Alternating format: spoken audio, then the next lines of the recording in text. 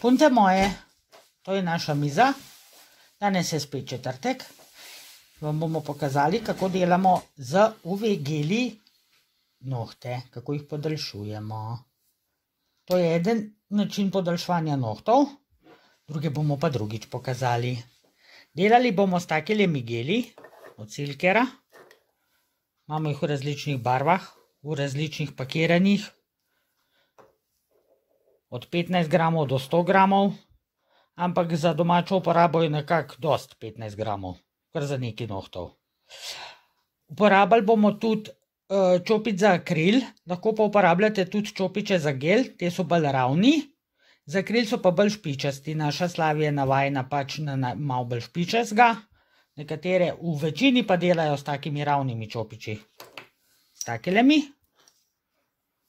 Slavi, pokaži tole špičko, prosim. Evo, ima ravno tole. Ona bo pa delala zdaj pa s takim bolj špičastim, ker je to bolj paše.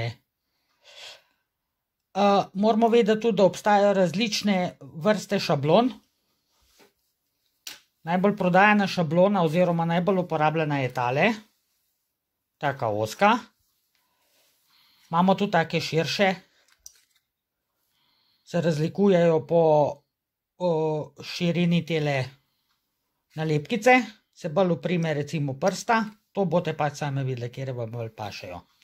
Rabili bomo pa še za podaljšati nohte razmaščevalec, to zmeri dajemo gor, nikoli ne vemo, tudi jaz, ki imam zelo suhe nohte, tole dan, da bolj drži. Bonder, to je v bistvu uh, primer samo za gel, reče se mu bonder in tega sušimo pod lučko. Pa gel, Slavi bo delala ne vem iz kakšne barve, iz Dark French Pink. V redu. Tole je pa sealer, to je pa zaključni sloj, če ne barvate nohtov. Da ste pa tole in je noht zaključen, to je Slavi že enega naredila, ga pokažeš, kakšen je v nohtek, ki je pobarvan samo s tem sealerjem. Evo, takle natur zgleda. No, da bomo pa počas začeli se upravičujemo, če bomo kaj ga biksali. Mi nismo profiči, mi to samo zato delamo, da vam pomagamo čim bolj pravilno narediti, karkoli pač želite. Lahko pa vedno na našo, naš spletni naslov nalakiraj nohte afnagmail.com oziroma na telefon postavljate vprašanja, bomo vse probali narediti. Evo, Slavi namešča zdaj šablonco. Nohte ima že pripravljene, razkužene, uh, spiljene. Ko so nohti enkrat pripravljeni ali za geliranje ali za podaljševanje, se jih več ne dotikamo. Ker čim pride maščoba na noht, se lahko zgodi, da vse skupaj odpade.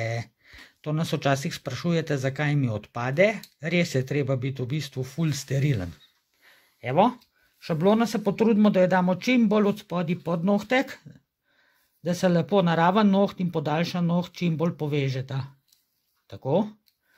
Slavi bo zdaj začela čarati svoje nohtke. Vam bomo povedali še ene par for. Da bo ja tako kot. Evo, zdaj bo brisala še enkrat. Da bo res vse čisto. Se pravičujemo, če bo malo slabša slika. Ampak mi dve nisva profičke se pa trudva biti. A ne slavi. Ona je to tiha zadnje čase. Tiha voda bregove dere, vete, se to že vemo, ne. Se tisti, ki jo poznate že iz telefona, vete, da ni tako tiha. Evo, zdaj daje gor bonder. Gremo spet čist probat do konca nohta. Pa čim bolj natanko, da zgleda bolj natur. Vse skupaj, da ni pol noh debel en centimeter. Ga od strani pogledaš, je pa, ka bi imel na, na seb, mislim, na, na prstih. Slavik, je zdaj ona meni kaže ta nohtek. Evo, zdaj gre tole v lučko. Za pol minute.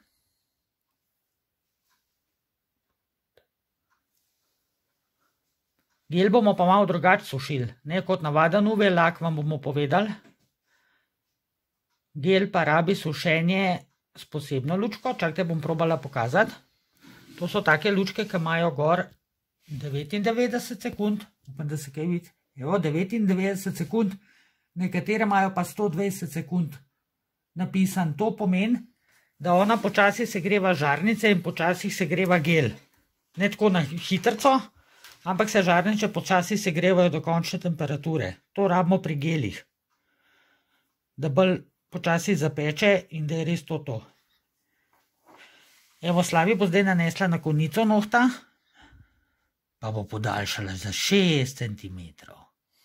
Se ne, ne bo podaljšala.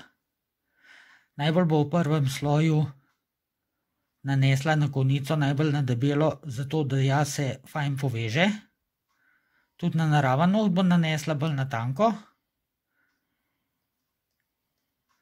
Evo, to lahko podaljšate, ko krčite, ker itak lahko pol vse skrajšate, popilite na tako dolžino, kakor vam ustreza. Če vam kaj poteče levo, desno, ne se sekirati, ker boste tudi popilile. Je pa res, da je treba biti, ker sen je treba biti malo natančen. Pa mirno roko imeti. Ene parkrat probat pa bo.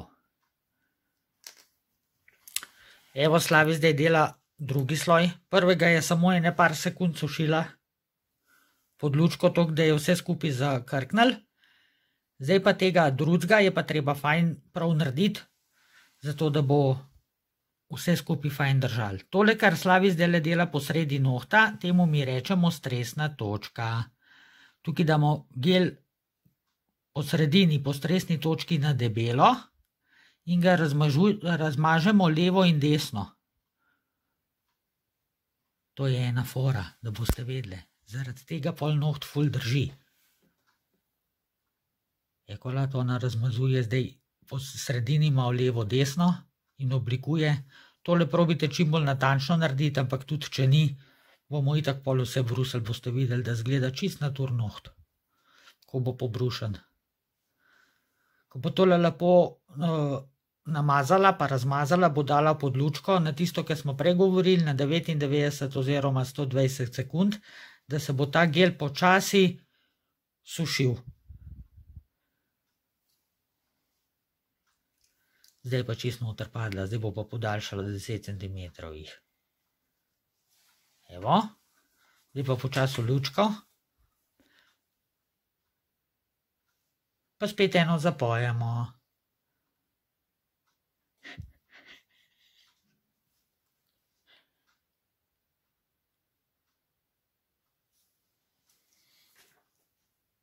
Zdaj bomo pa počasi, že ko bo tole Slavi dala iz uh, lučka ven, začeli tale noht pilt, pa oblikovati, pa upa, da ne bo počul, seveda ne bo počul, ker delamo vse prav.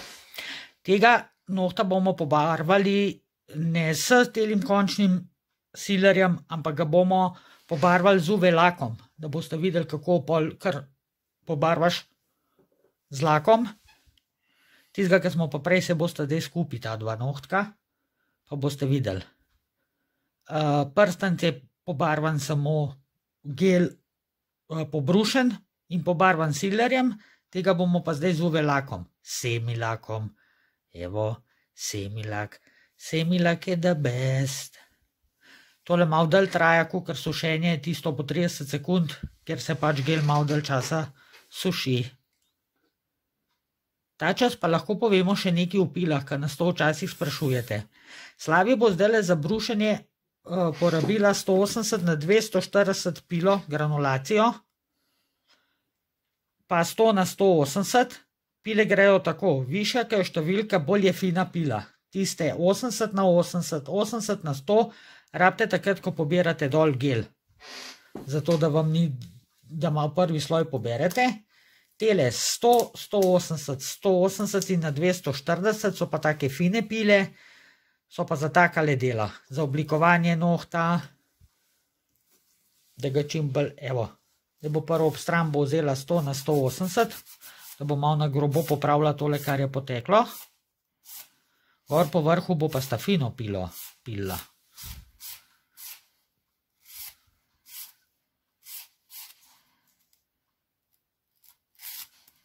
V eno stran vlečemo.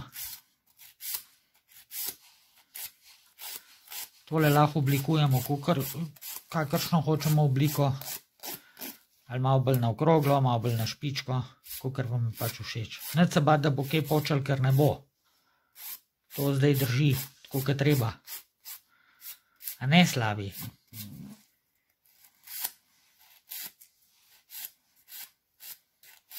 Evo, on prstek zraven, kam ima.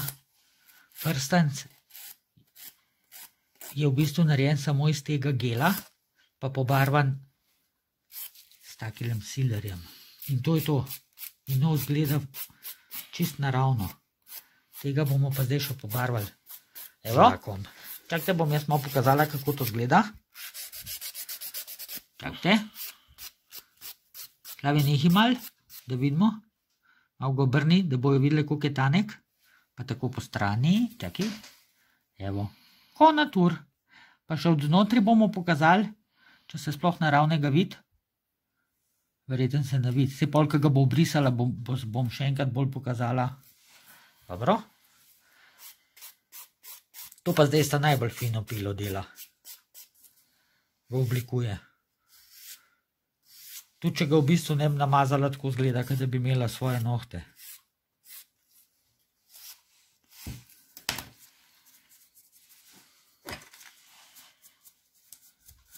Skrtačko prvo data velik prah. Potem pa še s klinarjem, da ga boste videli, koliko je lep.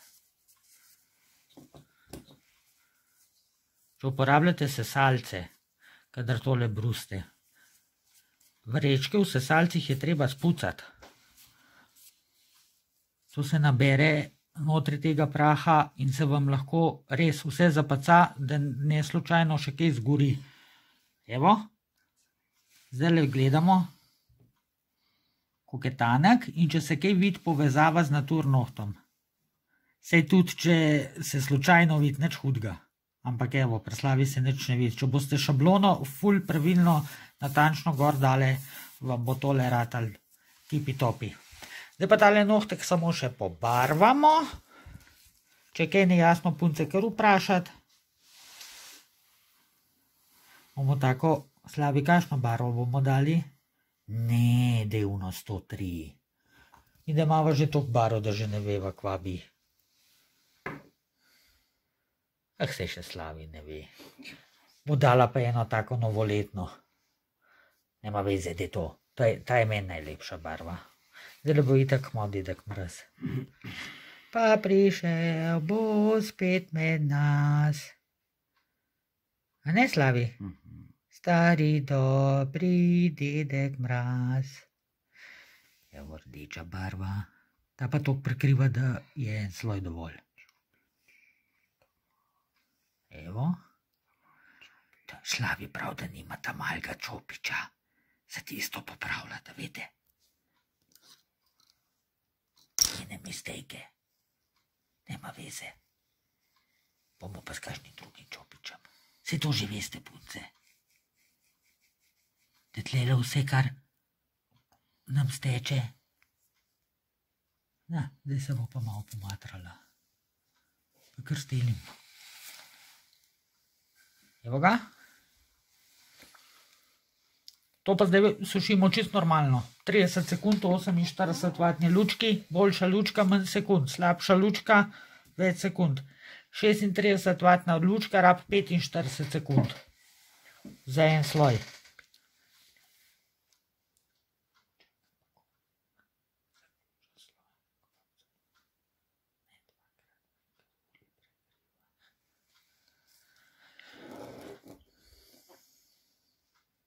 Tale barva, spicy salsa, ima noter še malo bleščice, pa ful dobro prekriva.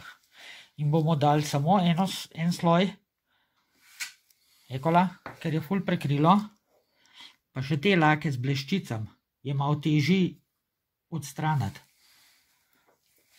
Evo, zdaj bo dala Slaviša se top nov vibe. To je top, ki ga ni treba brisati, navaden top pa sam še na konc klinerem pobrišete in to je to. Bo pa na koncu pokazala njene naturnohte, boge, pa tele enega naravnega.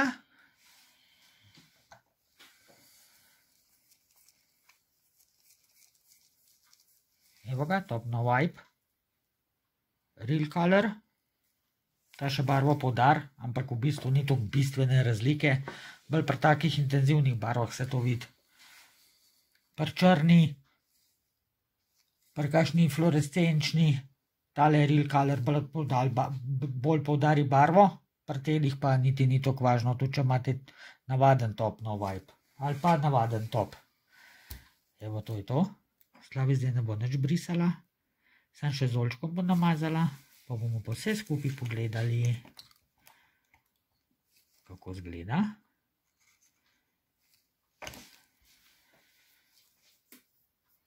No, smo pokazali, kako na svojih nohtih delaš, vsi imamo probleme z levo roko delati in kontra. Evo, to so od Slavi natur nohti, tale prstanček je samo s silerjem pobarvan, ta je pa z lakom semilak.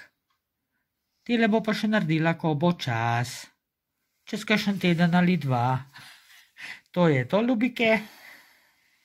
Vsa vprašanja na nalakiraj nohte afna gmail.com ali na nula pet ena tri pet pet nula šest dva, vam bomo vse pomagali, če kaj ni jasno.